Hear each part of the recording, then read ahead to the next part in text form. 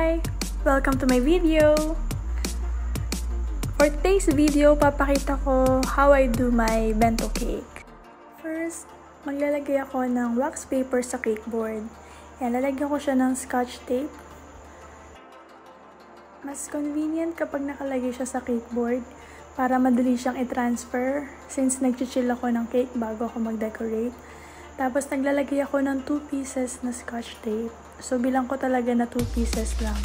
Para if ever man na pag tinanggal ko na siya mamaya at tinransfer ko na siya sa bento box, alam ko na 2 pieces lang yung tatanggalin ko na scotch tape. So, pag nagkulang ng isa, alam na, nakalagay na sa cake mo yun or nahalo na sa cake mo. At least may chance ka pa para hanapin. Tsaka mas madali siyang um, frostingan or lagyan ng design kapag hindi gumagalaw-galaw yung um, cake mo.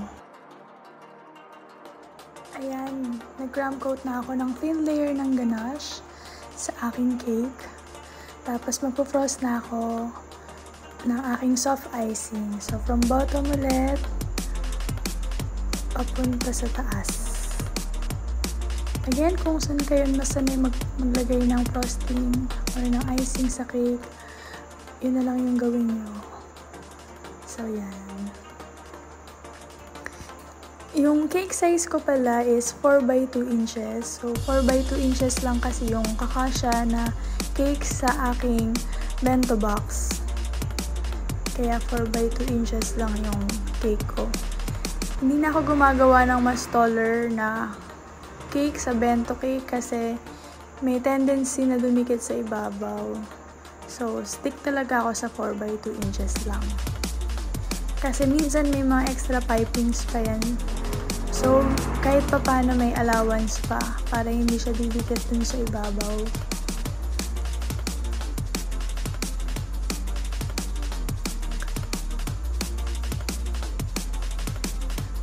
Scrape nyo lang yung mga excess icing sa sides para malinis pa rin tingnan. Uh, make sure lang po nagagawa kayo ng cake, please always uh, maintain na malinis yung workstation. Lalo na kapag food yung hinahandle nyo. So, dapat malinis lagi yung workstation nyo. Tsaka mas okay magtrabaho, di ba, kapag malinis yung paligid mo. So, yan.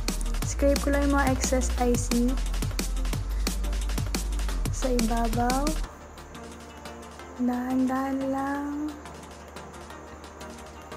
Super dali lang gawin itong cake na to. Kasi maliit lang siya.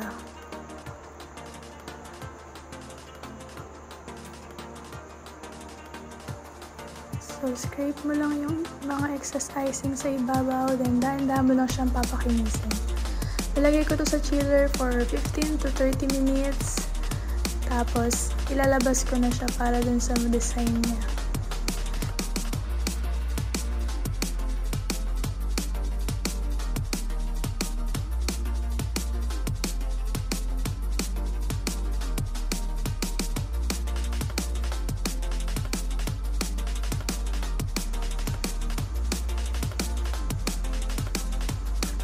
Kasi minsan na pag hindi mo siya chinichiller na scrape mo yung first coating mo sa cake.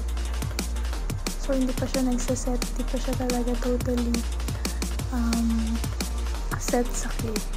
Linisin mo lang din ulit yung sides.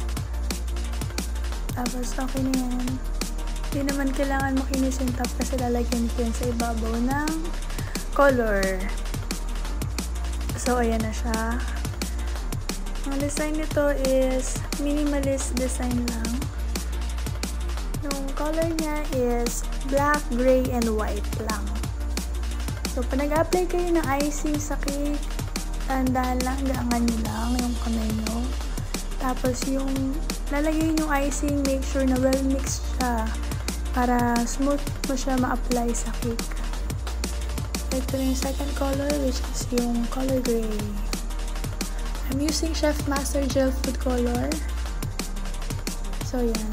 Yung gray, um, a little bit of black lang siya. Or gumawa muna kasi ako ng black. Tapos, ginawa ko yung black na, na, na color meron ako. Hinaluan ko na lang ng white. Kumuha ko ng konting black, tapos nilagyan ko lang ng white para maging gray siya. So, yung white nasa bottom part. Dahan-dahan lang yung pag-decorate ng cake, ano lang siya. Dapat relaxing siya. Dapat hindi siya struggle or stressful sa'yo. So, naglagay ako ng konting white kasi medyo hindi ko bet yung pagka-gray. Para medyo lighter lang siya. So, yan. Ubi-mix naman yan since pareho naman silang soft icing. Tapos, yung mga excess, scrape ko lang yan. Kasi minsan nagbubukol-bukol yan sa taas. Eh. Scrape mo lang siya para kapag pinakinis mo siya sa ibabaw, yan, ganyan siya. Hindi siya mag-wave-wave. Kasi may mga excess kang icing. Dapat scrape mo lang. Handahan lang. Zumutan mo lang yung top para maganda siyang tingnan. Kahit hindi super smooth, okay lang yun. Basta smooth mo lang. Lagi mo lang pag-practicean. Lagi mo lang i-try. In time, makikita mo rin ang results.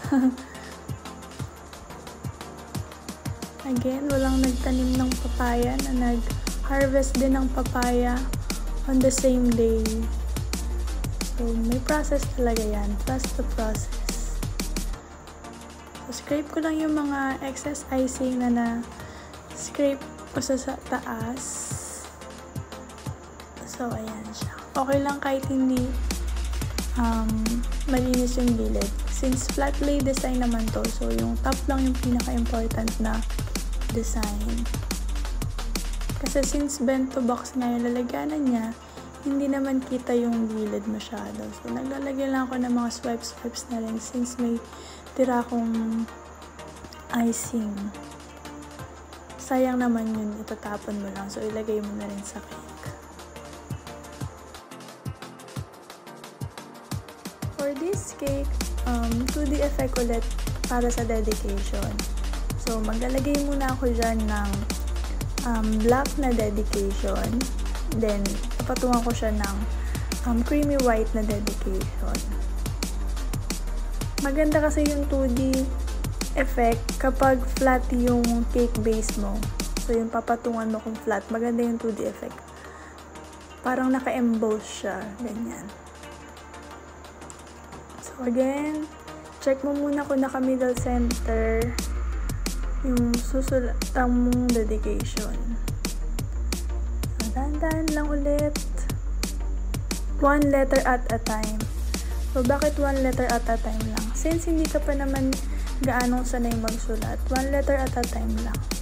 Yung speed, mabilis na lang yon or madali na lang yun gawin kapag sanay ka na. Kapag alam mo na yung um, right grip or yung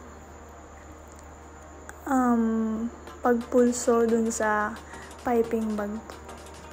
Madali na lang yung speed.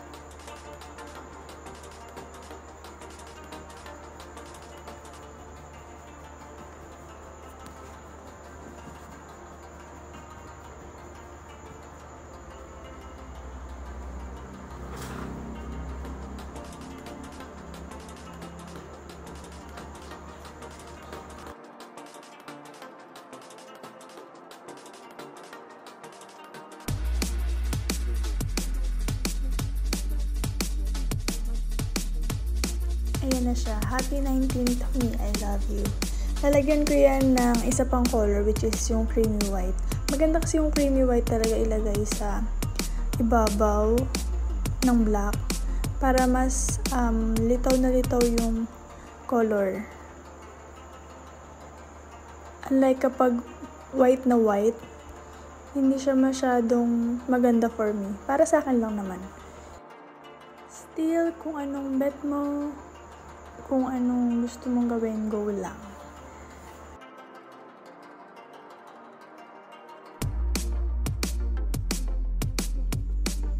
Kung medyo struggle ka pa sa pagsusulat ng dedication sa cake, uh, maganda gawin mo yung um, cake mo ahead of time para marami kang time para sa'yo lahat ng oras.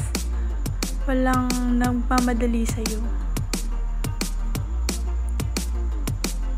Ayan. So, one letter at a time, dahan-dahan lang sa pagsusulat ng dedication. Practice, practice, practice. Yun lang po yung lagi kong um, sinasabi or ina-advise.